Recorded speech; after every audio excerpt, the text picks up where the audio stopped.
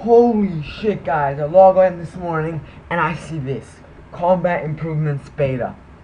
Oh my god, this is actually very exciting. So what they're gonna bring back is special attacks. That's like Dragon Claw, Korasi, AGS, BGS.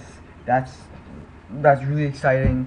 Um, Dragon Claws are like 30 million G right now, so if you want to get them. But I won't because I think they're gonna stable out and they're gonna drop a bit. Revolution. Um, basically, it's using your your low um, your basic abilities for like by itself. You don't have to press it. Um, same thing with momentum plus. You just you're using you're using your fingers less and it's a bit more AFKable. Um, ability. So when you're on cooldown, um, you know how it says, "Oh, not ready, not ready," and it gets kind of annoying. So what they're gonna do here is they're gonna make it glow. So when it's ready to hit, and when it's when the cooldown is done, it's gonna hit. Uh, action bar setup.